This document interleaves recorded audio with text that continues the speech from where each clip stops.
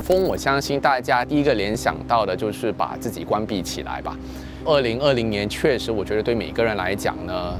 大家都与世隔绝，大家都突然间完全没有一个肢体上和距离上的一个接触吧。我是来自旅游业，是经营一家精品旅行社，突然之间就发现说，新加坡少了很多很多的人气，少了很多很多的旅客，对很多业务上来讲，肯定是受到最大的影响的。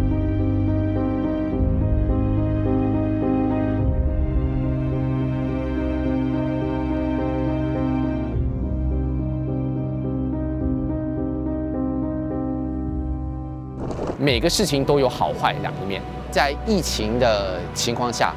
大家其实呢，现在就是要想着如何创新。有一些东西，就比如说我们用 Zoom、用 Google Meet 这种平台上线上的这种直播的产品，可能说在之前的话，没有疫情的情况下是没有办法那么快速的就让大家都去试用。所以我就希望说呢，我们在读解这个风字的时候呢，也往好的这一面想。在这个大洗牌的时代呢，大家都可以往自己更好的一面去为自己创造出新的土地。